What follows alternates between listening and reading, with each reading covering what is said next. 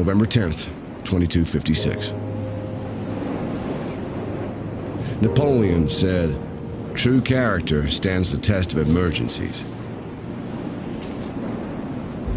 And we've faced countless tests from a ruthless enemy. We've all lost so much, so many. But for the greater good, Starfleet will hold the line.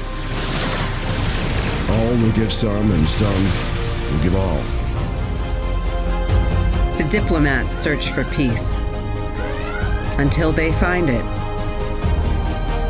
it's up to us to fight. To keep the Federation safe, sacrifices will be made.